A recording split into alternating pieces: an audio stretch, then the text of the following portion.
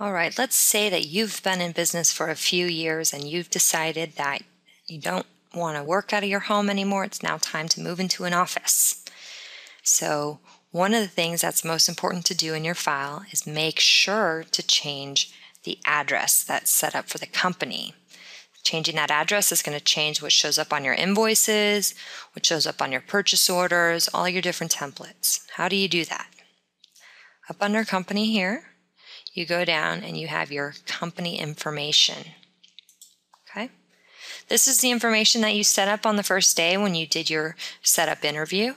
All this information has been pulling onto templates.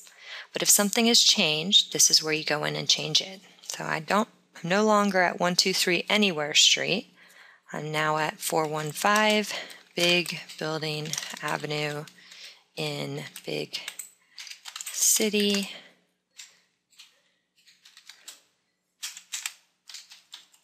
All right, so I changed my address in there.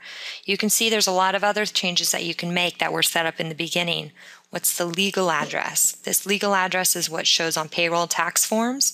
So you might have a different legal address. You might you might leave your legal address here and just have the building be your uh, physical address. Okay, your federal ID number uh, and your social security number if you use that instead. Did you change your fiscal year beginning? Your fiscal year? Is it changing to March? Is it changing to July?